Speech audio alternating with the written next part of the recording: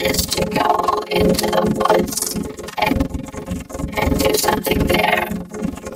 And also, by the way, um, will, uh, is safe